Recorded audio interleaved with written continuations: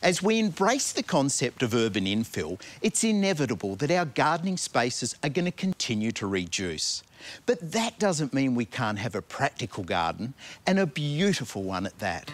The average lot size in this street is around 200 square metres.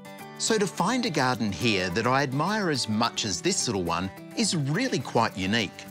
Not only is it attractive all year round, but it requires very little maintenance and thrives with a minimum amount of water. This little plant is known as Convolvulus cneorum, or more commonly as the silver bush. Anytime we see a plant with silver foliage, we know that it's going to be tough and hardy. Well, this little guy has got a fantastic pedigree. It's native to the coastline of Italy and Croatia and survives in some of the harshest conditions, making it ideal for planting here in WA. The secret to this garden is in the selection of plants.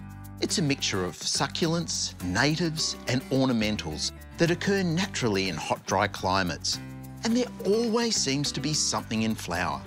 This little Kalanchoe pumila is native to the African continent and it's as tough as it is beautiful. It's in flower for months of the year. And can you imagine this little plant in a hanging basket? It'd look so beautiful. One of the things is that they grow so easily from cutting.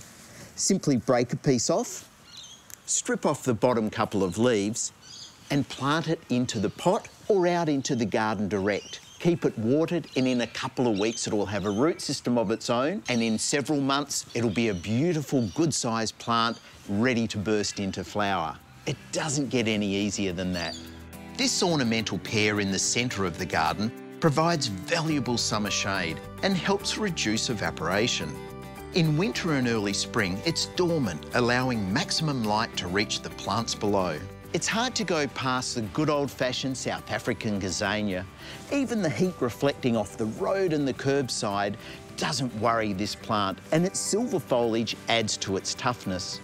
If you're looking for these varieties in your local nursery, keep an eye out for the new sterile forms that won't pose a problem in invading your local bushland.